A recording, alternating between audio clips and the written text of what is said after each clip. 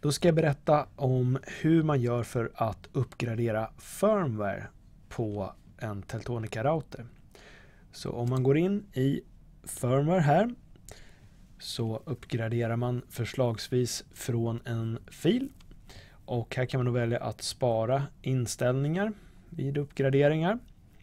Och eh, i det här fallet så väljer jag att eh, hämta en firmware ifrån skrivbordet som är i det här fallet då nyare än den som är i min router och därefter väljer jag uppgradera.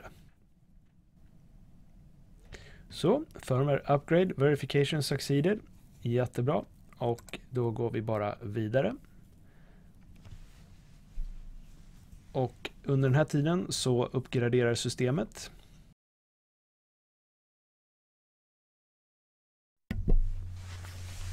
Då så, då startar routern om.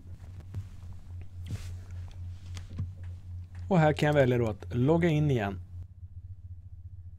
Här är en viktig sak. Jag valde att inte ändra några inställningar och det innebär att jag måste skriva in standardlösenordet admin 01 igen.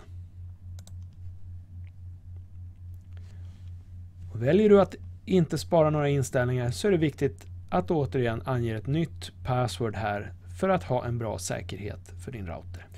Mer information på vår hemsida www.induowireless.com eller slå oss en signal på 08 659 4300 så kan vi hjälpa dig vidare där.